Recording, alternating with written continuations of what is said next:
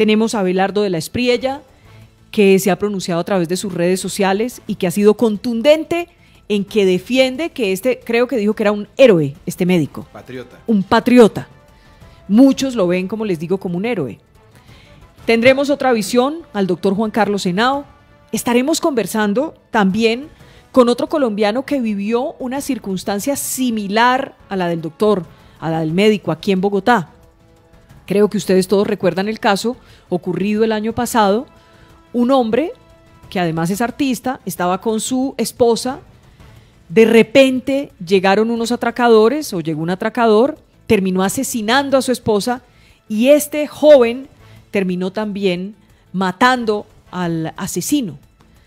Son casos que se han venido repitiendo de alguna manera en Colombia.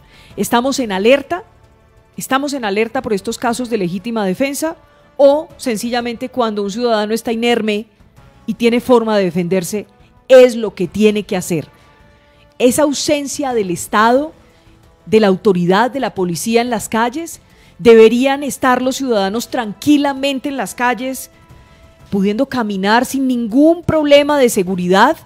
Falla es el Estado, falla la policía, falla la autoridad, falla quienes tienen que garantizar la seguridad y la vida de los ciudadanos como lo ordena la Constitución.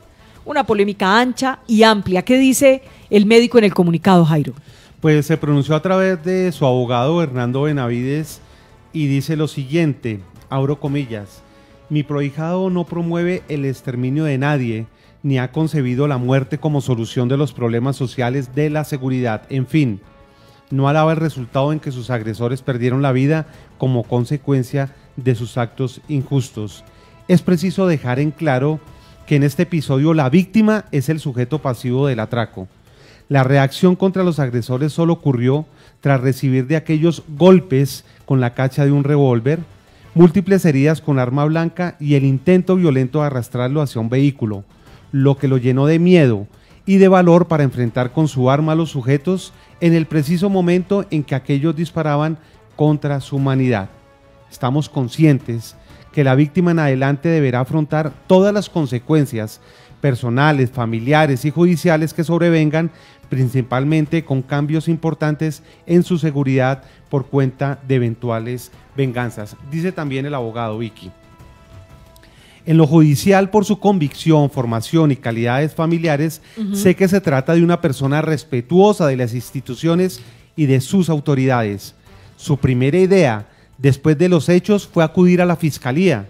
Sin embargo, se encontraba incomunicado, estaba sin celular, sin agenda de contactos y consciente de que podía ser perseguido por el automóvil de los asaltantes. Fue así como a primera hora buscó mi asesoría y de inmediato nos dirigimos a la unidad de vida de la Fiscalía donde hizo exposición del caso, entrega de su arma y permiso de porte y se sometió a los trámites y decisiones del ente investigador. Esto es lo que dice el abogado Hernando Benavides. Nuestro hashtag hoy que les proponemos es numeral médico que disparó es. Ya empiezan a llegar muchos mensajes. Mélida Marín dice, numeral médico que disparó es para muchos un héroe, para otros un bandido. No soy quien para juzgarlo. Solo la justicia determinará si hubo legítima defensa o actuó por exceso. Se une también a esta conversación Javier Barragán, numeral médico que disparó es como muchos colombianos, una persona que se ve afectada por la delincuencia ante la ausencia de la policía. Si actuó con exceso, eso mismo lo deberá resolver la Fiscalía. María Paula Aristizábal dice, numeral médico que disparó es un ciudadano como cualquier otro que le dio prioridad a proteger su vida. Alfonso Rico, numeral médico que disparó es un héroe para muchos, un bandido para otros. Yo nunca he portado un arma y no sé cómo procedería. Esta es la discusión que se genera. Pacino Bayuno dice, numeral médico que disparó es un ciudadano que vio en riesgo su vida y la protegió. Carlos Jaimes, numeral médico que disparó es alguien que solo quiso defenderse de tres, entre comillas, valientes asaltantes que solo querían robarlo. Es un héroe. Nada justifica acabar con la vida de alguien, pero era la de él o la de los, entre comillas, valientes asaltantes. ¿Y quién del gobierno o alcaldía pone la cara por la inseguridad? Y uno más, Luis Suárez, numeral médico que disparó es un héroe, mil veces héroe. 12 del día, 8 minutos. Saludamos a esta hora al abogado penalista Belardo de la Espriella. Lo saludamos, doctor de la Espriella, lo vimos muy activo en las redes sociales y le propongo empezar con nuestro hashtag, numeral médico que disparó es. Para mí, eh, Vicky es un patriota, es un héroe que además estaba defendiendo su integridad. Lo importante es que la teleaudiencia, querida Vicky, entienda que la legítima defensa es un derecho fundamental que va atado al derecho a la vida. Una persona no puede dejarse asesinar eh, arrodillándose, entregándose. Tiene el derecho a defender su integridad, incluso la de un tercero, cuando se trata de una agresión inminente, actual. Hay que hacer esta reflexión también. Cuando el médico le dispara a estos tres bandidos, que dicho sea de paso, tenían antecedentes penales, y para mí, en lo personal, son unos buenos muertos. Esos tipos tuvieron su merecido, era exactamente lo que se merecían. Cuando este patriota, este héroe que les dispara para defenderse lo hace, no lo hace con la intención de matarle, sino de defenderse. Porque un cálculo como esos no se hace en un momento tan complejo como el que vivió este galeno. De tal suerte que él lo que trata es de repeler el ataque, pero no con la conciencia de que los va a matar. no quería matarlos. Él sabe que puede que les mate. Pero, él, pero la intención primera, la intención primaria. ¿Salvar su vida? No es matarles, sino, correcto, Jairo, salvar su vida. Por eso es importante que la gente entienda que se trata de un derecho que se puede ejercer en circunstancias excepcionales, como la que se ha planteado con este ejemplo del médico, que repito, es un héroe es un patriota. Y la ley, querida Vicky, no es como el hielo, que sabe a lo que se le ponga. La ley tiene peso y consistencia propia. Por tanto, la ley es clara. Nuestro código penal señala de manera expresa y clara cuando operan las causales que excluyen de responsabilidad a una persona. Y una de esas causales es precisamente ejercer el derecho a la legítima defensa. Y fíjense ustedes un punto en el que nadie ha recabado, querida Vicky. La legítima defensa de acuerdo a nuestra ley y a muchas legislaciones como por ejemplo la estadounidense, tiene como eh, claro el hecho de que cuando una persona es invadida en su lugar de domicilio, cuando alguien se mete en la casa de otro, se presume la legítima defensa si se le da muerte a esa persona así esa persona esté desarmada. Porque quien recibe esa agresión o esa intrusión en su lugar de residencia no sabe si el otro está armado o no. Entonces uno puede decir, Vamos a ponerle pausa a esto, señor. Usted viene con intención de robarse una gallina, hacerse un sándwich de la nevera mía, o dispararme, o atracarme, o violar a mi mujer, o hacerle daño a mis hijos.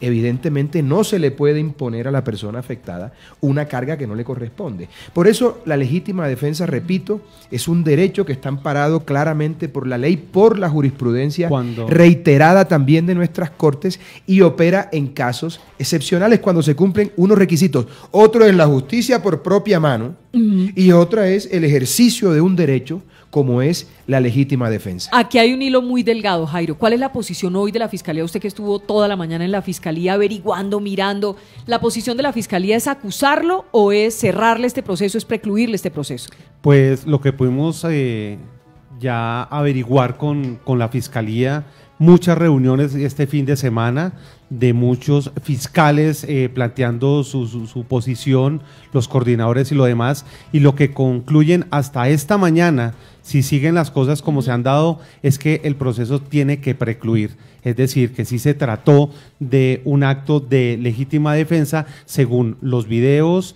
las pruebas, los testimonios y todo lo que y los antecedentes de los bandidos y todo lo que han recaudado hasta este momento. Eso es clave, eso es clave. Tenían antecedentes, las personas que resultaron muertas. No eran tres muchachos montando patinetas sin ningún registro criminal, no. Eran eh, atracadores profesionales, entre comillas, porque ya nos dimos cuenta de que tampoco eran tan profesionales, eh, afortunadamente, de tal suerte que esos antecedentes son fundamentales al momento de, determinar lo que va a ocurrir aquí. Podría... Y Jairo lo ha dicho claramente, aquí lo que, lo, que, lo que procede, Vicky, a nivel digamos, eh, procesal, es la preclusión. ¿Cómo se logra eso? La fiscalía debe tiene que ir, hacerlo ante un juez. pero al juez de conocimiento. Sí. Ojo, no ante un juez de control de garantías. ¿Por qué? Ya voy con esto. Se va ante el juez de conocimiento y se le solicita la preclusión porque ha operado una de las causales del artículo 32 de nuestro Código Penal que habla precisamente de esos hechos que eximen de responsabilidad a una persona. Son varios. Uno de esos es la legítima defensa. De tal suerte que lo que corresponde es pedirle al juez de conocimiento por parte de la Fiscalía que precluya porque ha operado esa causal excluyente de responsabilidad o eximente de responsabilidad y el juez tendrá que decretar esa preclusión que automáticamente hace tránsito a cosa juzgada. Eso no se puede dejar en el aire porque entonces no estaríamos abocados o el médico estaría abocado a un escenario como que los familiares de estos tres delincuentes que repito que bueno que ya están gozando de lo que merecen. Porque ellos podrían, Abelardo, pero- ellos lo que merecen. alegar- claro, la alegar familia puede demandar Pero ahí no, claro, que ahí puede se puede, encuentro, se puede acabar lo penal y puede Abelardo, demandar civilmente, ahí por eso hay que encuentro, cerrar. Ahí encuentro una, una diferencia entre usted y el comunicado del médico. Se lo voy a decir.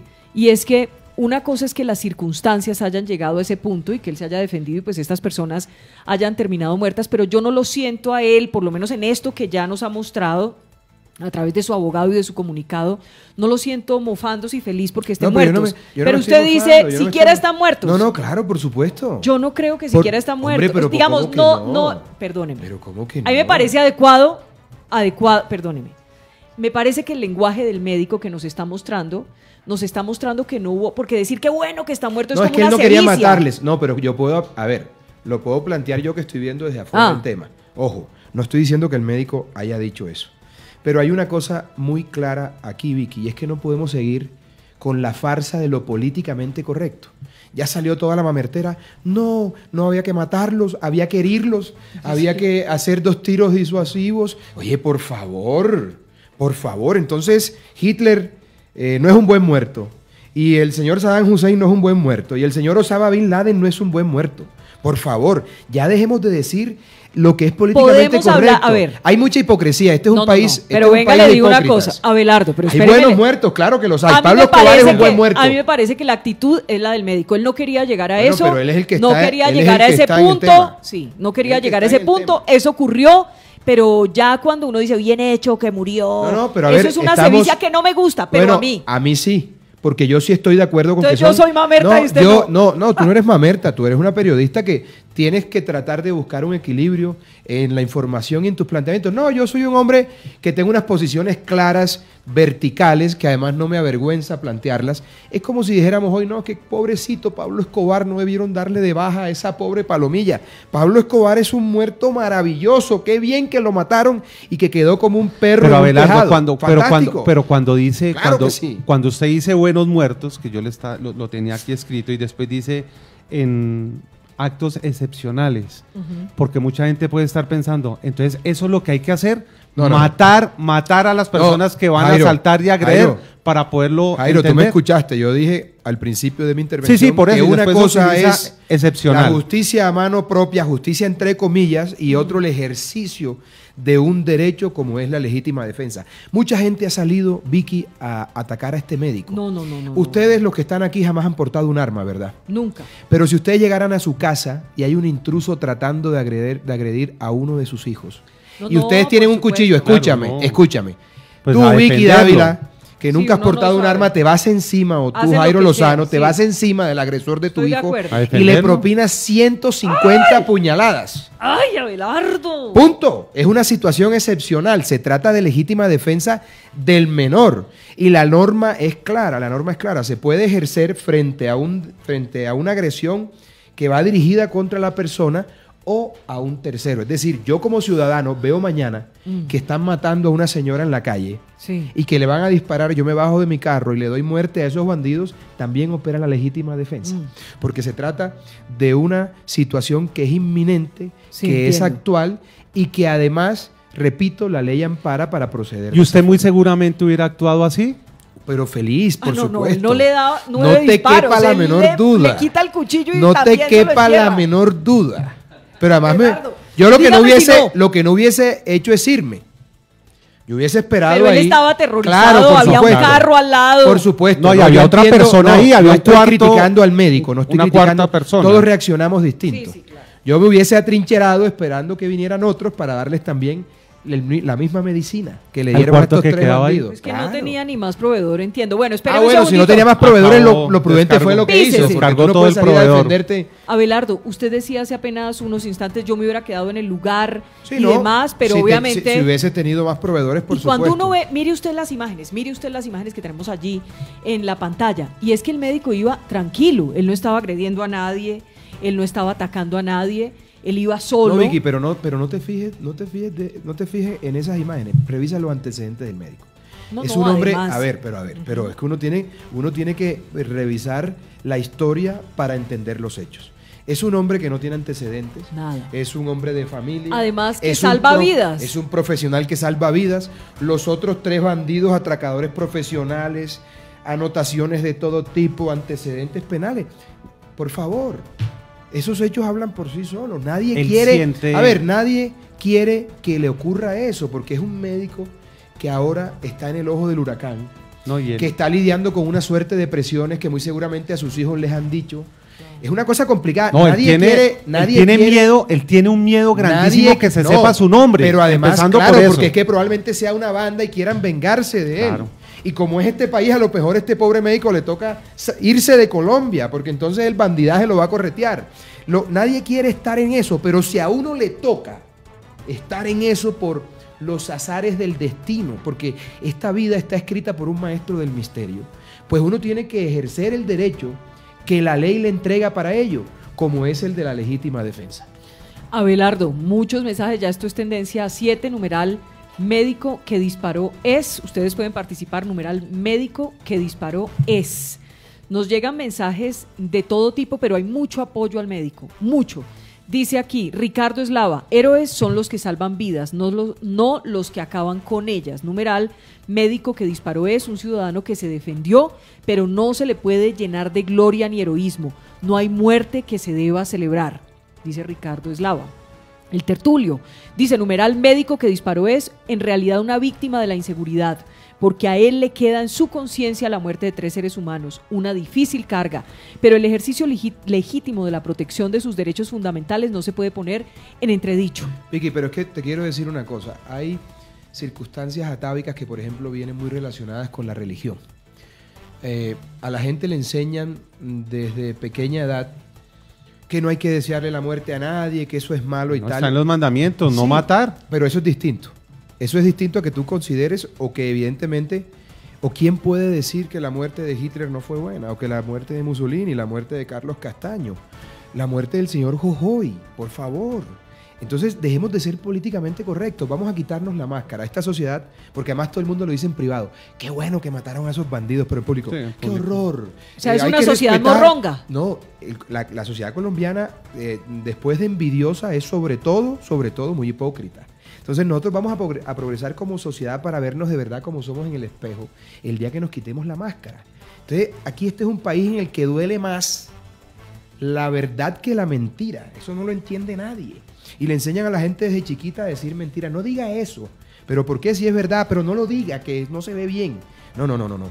Llamemos las cosas por su nombre. Era un, un ciudadano de bien. Por supuesto, no le deseo esa circunstancia a nadie que se encuentre en eso, porque son líos legales, problemas de todo tipo. Ese hombre se le ha quitado el sueño, amenazas, inseguridad.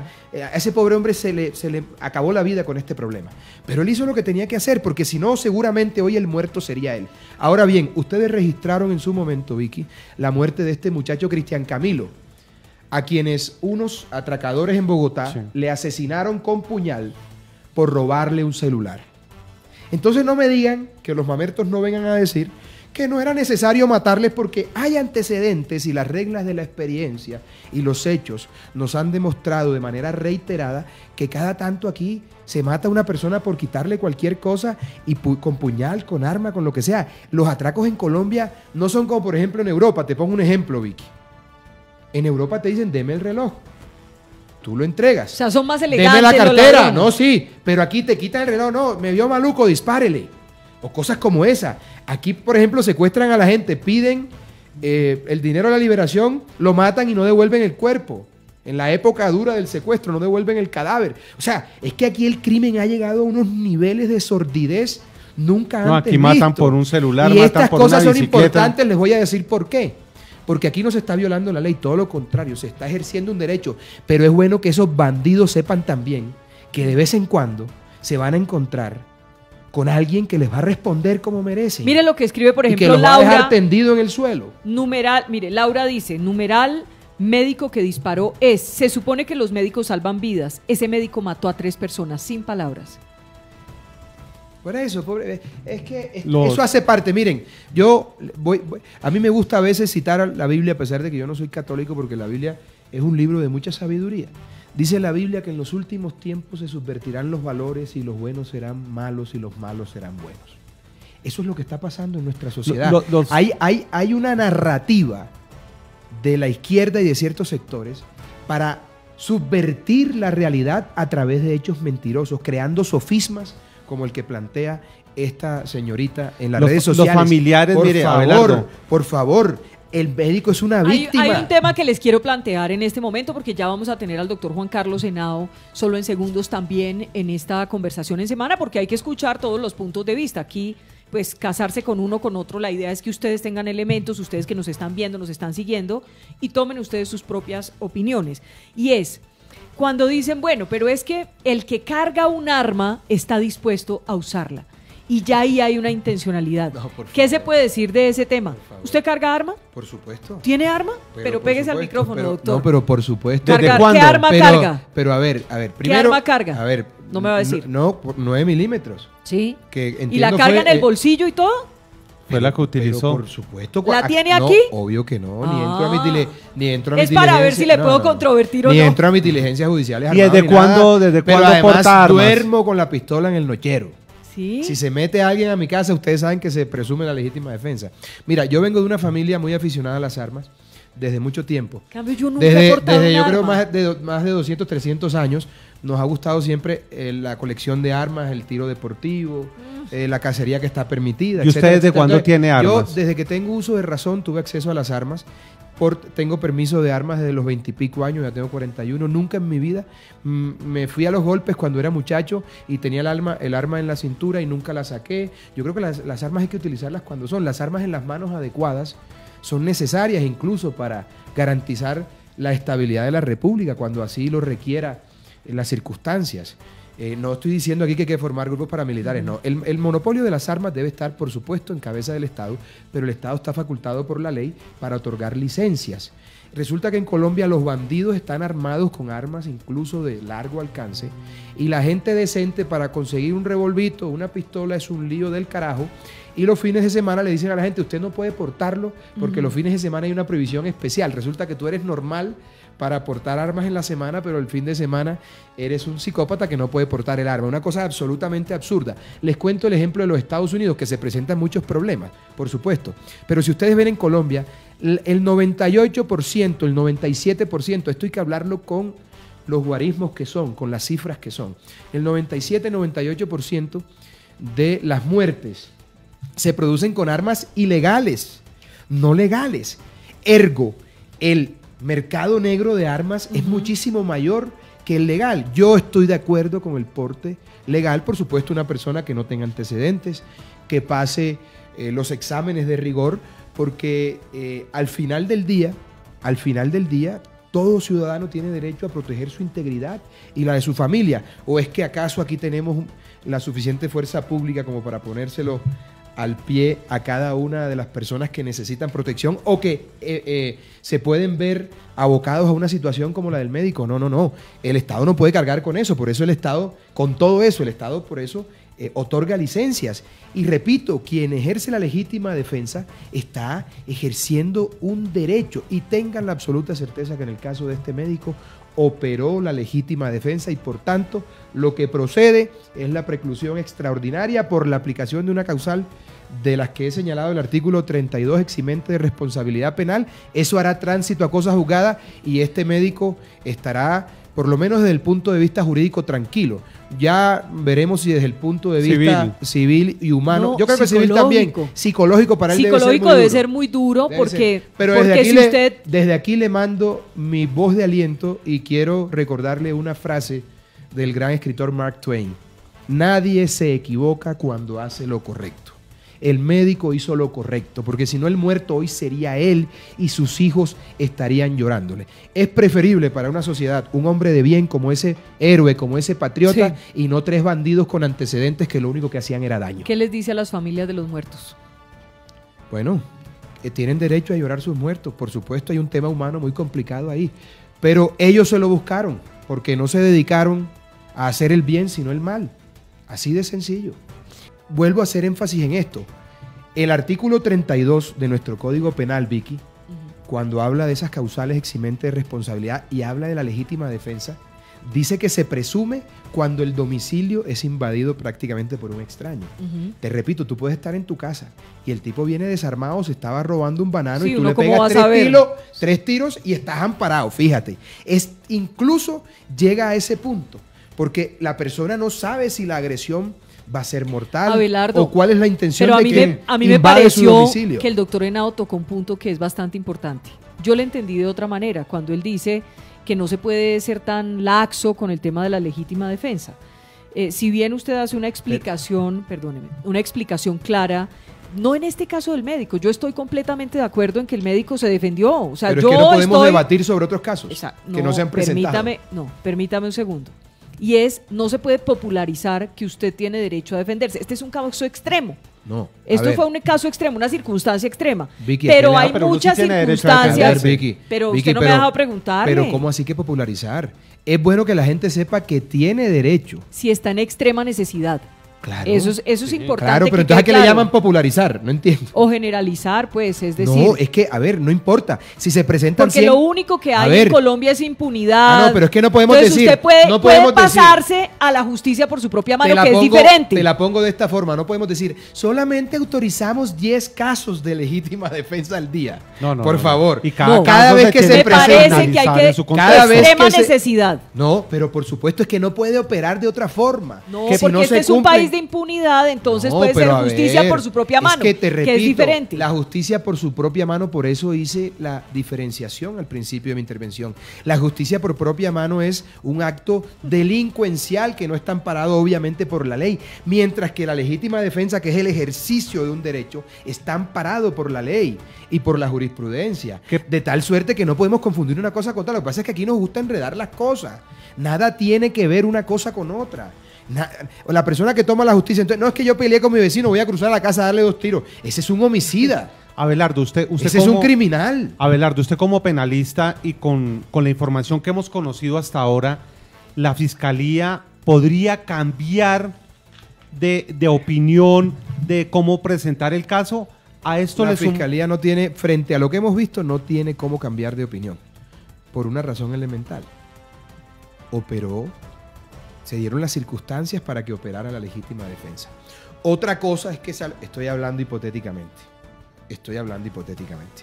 Otra cosa es que salga un testigo que diga que el médico había tenido un problema con uno de los tipos porque Sí. tenían una novia y lo citó en el puente y entonces eso fue un ajuste de cuenta. Eso, es otra, cosa. cosa, Eso es que otra no cosa. es el caso. Entonces por eso no podemos teorizar sobre lo que no ha ocurrido. Hay que Y si, hablar por ejemplo- sobre cada Pero caso es en que concreto. estamos debatiendo, Sí, y- Abelardo. y por ejemplo- y para que no quede duda, yo apoyo al médico, porque es que usted luego lo enreda uno con ese No, palabrerío no, no. y Bueno, entonces pero yo si- apoyo al déjeme repetir, yo apoyo al médico. Repita conmigo, Pero Abelardo. yo- pero si- yo apoyo al médico, o sea- pero tengo unos matices en torno a ese tema, es decir, este caso puntual del médico, perfecto, O sea, si es como dice el doctor que pasó. Yo enredo a Vicky Dávila. A Vicky. Dávila no le enreda ni un duende. Resulta que yo te voy a enredar. No, no, no. Abelardo, ¿qué pasa? ¿Qué pasa?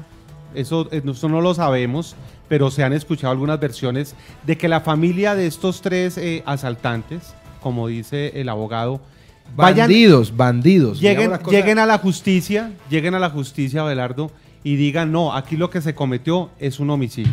A, a- a nuestros familiares los mataron. ¿Qué pasaría a ahí ver, a ver. jurídicamente? Pero a ver, vamos a aclarar. Homicidio hay, porque hay un muerto. Ojo, siempre que hay un muerto, hay homicidio. Simplemente ese homicidio está justificado porque entra a operar una causal eximente de responsabilidad, que es diferente, pero homicidio hay. Sí.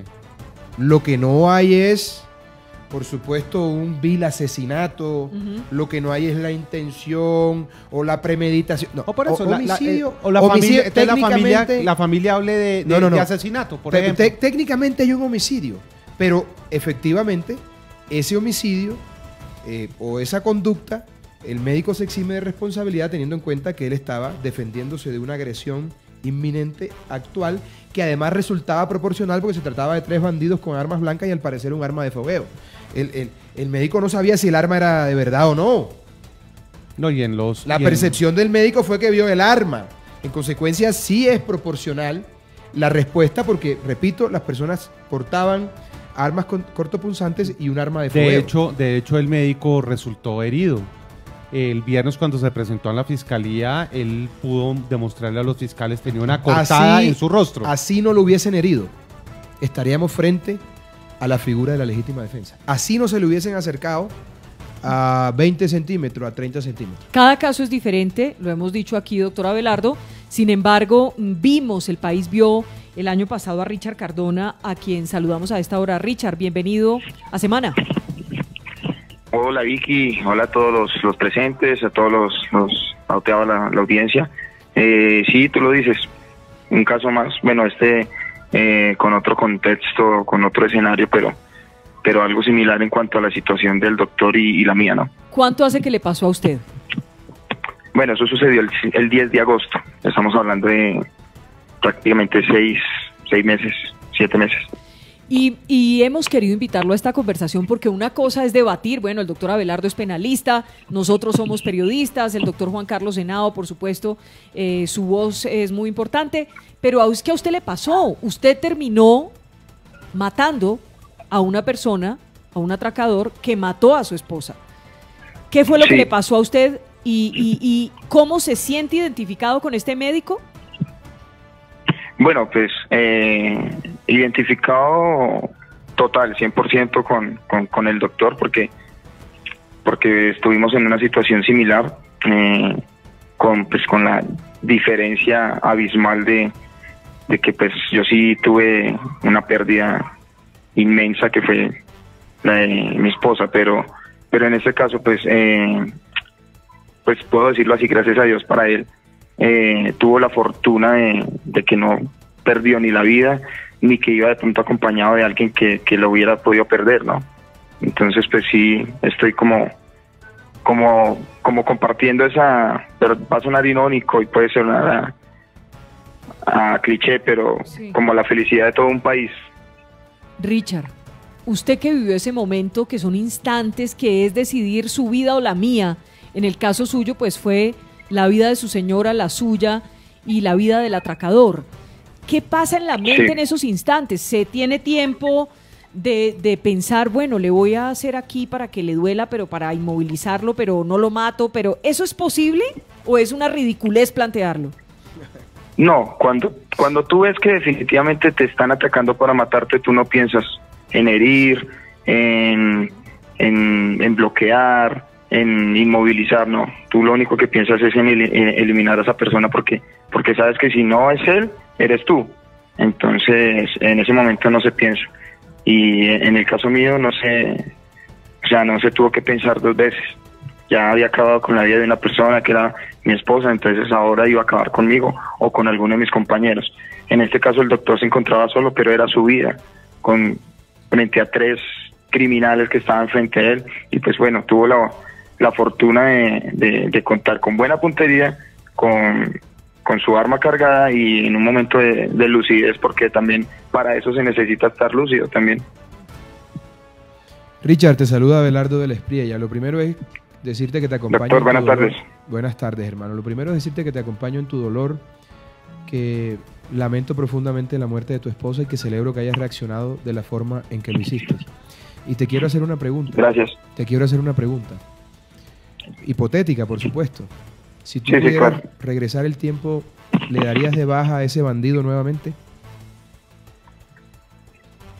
En una situación similar, obviamente pues yo creería que, que, que sin dudarlo, pero, pero eh, voy a alterar un poco la, la pregunta que me haces. Si, si pudiese devolver el tiempo y, y, y que ambos quedaran vivos, pagaría por eso. Sea, no lo, no lo pensaría tampoco. Pero, en una situación similar, Richard, eh, tú tocaste un punto muy interesante. Se lo mencioné yo a Jairo Lozano al principio de mi intervención.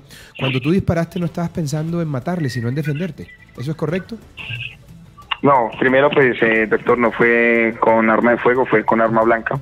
Ok. Eh, en ese momento, pues como todos bien saben, yo lo que hice fue desarmar, eh, en compañía de uno de mis compañeros, desarmamos al sujeto y, y con la misma arma que, que él había asesinado a mi esposa, pues con esa Perfecto. prácticamente... Con esa aclaración que has hecho que me parece pertinente, tú nunca pensaste en darle muerte, simplemente en defenderte. Bueno, es que es, es, es fácil decirlo ahora después de eh, después de tantos meses y, y ahorita en, en el estado en que estoy aquí, con, tranquilo en mi casa, pero en ese momento en ese momento uno no uno no sabe si si lo va a matar, si no lo va a matar, si se va a morir. Esa uno solamente pregunta, quiere es liberar librarse de ese de ese de ese sujeto en Y ese hay, momento. y hay Una un hecho. ¿cómo le cambia la vida? ¿Cómo le cambió a usted la vida este hecho? Porque si bien el médico, que seguramente nos estará viendo, escuchando, si bien este médico, pues eh, seguramente todo le va a salir bien en materia jurídica, judicial, eh, ¿cómo queda una persona que se ve abocada a una circunstancia de esas que no buscó, que no quería, que no pensaba y que termina pues en una circunstancia de estas envuelta? Usted hasta preso estuvo. Sí, sí, de hecho, eh, hace poco, hace poco tuvimos una audiencia de acusación para el cómplice de, de- del asesinato de, de Charlotte y, y, pues este, esto para mí es incómodo, estar asistiendo a este tipo de, de- de audiencias, a, un juzgado, a una sala de, me, me perdonan la ignorancia, no sé cómo, cómo se llama un juzgado. Eh, no estoy acostumbrado, no estaba acostumbrado, es algo incómodo, eh, es una energía bastante negativa la que se siente, entonces eh, le cambia a uno la vida en muchas cosas, en muchos aspectos. 12 del día 58. Richard, mil gracias por estar con nosotros en semana. Un A abrazo. ustedes, Vicky. Me alegra ver que está recuperado, mucho más recuperado. ¿Oyó? Claro que sí, muchas gracias y bueno, ya saben que aquí estamos a disposición cuando quieran. Mil gracias. Muy puntual. Es importante que se entienda, repito, que una cosa es la justicia por propia mano, que es un delito, y la otra ejercer un derecho como la legítima defensa. Todos los ciudadanos colombianos tenemos el derecho amparado por la ley y por la constitución de defender nuestra vida e integridad y la de los terceros cuando estamos abocados a situaciones de agresión inminente y actual. De tal suerte que le deseo la mejor, el mejor desenlace a- al médico y mi invitación es a que también las autoridades eh, eh, hagan su trabajo y presten un mejor servicio de seguridad Más- para que más seguridad para que esto no se tenga en que presentar. calles. Eso sería lo ideal, que, que sea la fuerza pública la que evite estos atracos, pero eh, los ciudadanos de bien tienen que entender que están amparados por la ley cuando se presenta un caso como estos. Y dos, hay que revisar el tema del porte de armas. En un país con tanta criminalidad, no resulta presentable que los bandidos tengan acceso a toda suerte de armas y la gente de bien no pueda portar una para defenderse cuando sea necesario. Ese será otro debate, no estoy de acuerdo. Bueno, eh, sí, ¿qué hubiese pasado, Vicky, si el No, médico... no, eso es otra cosa. Pero ver, imagínese, aquí estoy infestado de entonces, armas. Tú sí puedes, tú sí puedes Sería hacer otro. preguntas hipotéticas y yo no puedo hacer una contrapregunta. Hagamos, te hago una pregunta hipotética. ¿Qué habría pasado con este médico de no haber estado armado? ¿Qué crees que habría pasado? No, perfecto. Seguramente Entonces, él era el muerto. Perfecto. No más preguntas, su señoría. Muchas gracias No, por la no, no. invitación. Vicky. Simplemente No quiero decir, preguntas. pero yo sí puedo decir. No más preguntas. Para despedirlo, Gracias. decirle que en este país todo el mundo armado, no me quiero imaginar la de Pero mortandad. es que no todo el mundo puede estar armado porque no todo el mundo cumple el requisito para estar armado. Por eso, pero hagamos otro Hay programa sobre las exámenes. armas, Claro, otro día. Cuando quieras. Y sabes Pero que no te en este momento. Te invito a un Incremento Yo polígono. sería incapaz Hagamos de hagamos- disparar. Hagamos, no, no, ese- señor. hagamos en a programa mí no me y hacemos un invitación. polígono. Como dice por ahí el doctor Germán Vargas, Para no me que haga esa aprendas. invitación tan chimba. Pues yo te he recibido unas peores a ti. Chao. Doctor de la Espriella, gracias. Gracias por acompañarnos.